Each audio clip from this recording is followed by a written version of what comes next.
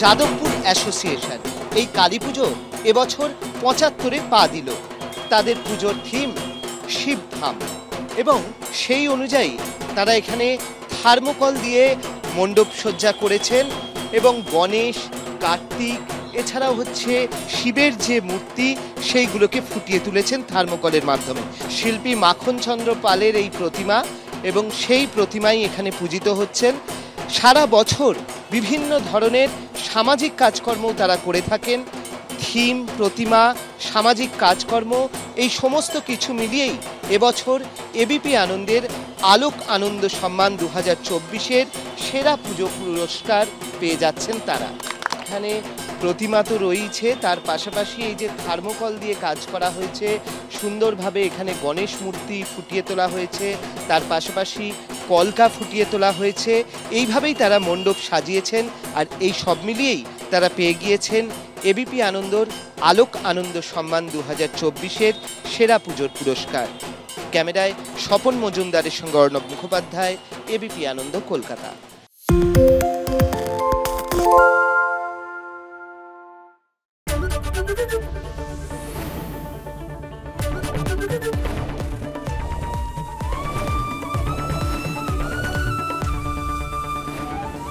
ABP Ananda এগিয়ে থাকে এগিয়ে রাখে। পালিয়েছে তাই নাকি রাত্রে? বাংলা গুজব চায় না বাংলা খবর চায় বাংলা খবর বাংলার খবর। বাংলা ঝামেলা চায় না বাংলা খবর চায়।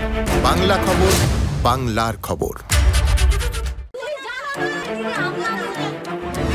বাংলা চেঁচামেচি চায় না বাংলা খবর চায় বাংলা খবর বাংলার খবর। আরে চাটা দে। এই আমার একটা চা দেন। কি হলো? আমারটা?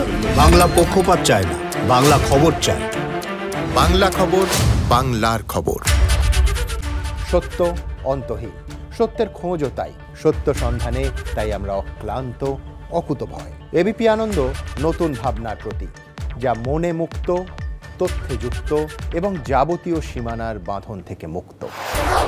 সীমা না, শব্দটির মধ্যে লুকিয়ে আছে মানা শব্দটি, যেন চোখ রাঙানি, এক অদৃশ্য বেড়াজাল যা আটকে রাখে আমাদের এক ছোট্ট গণ্ডির মধ্যে। একমাত্র সঠিক খবরই গড়ে তুলবে এক মুক্ত সমাজ। সেই জগৎ গড়ার লক্ষ্যে কোনো সীমানার ঠুকুটি আমরা মানব না। এবিপি আনন্দ, এগিয়ে থাকে, এগিয়ে রাখে।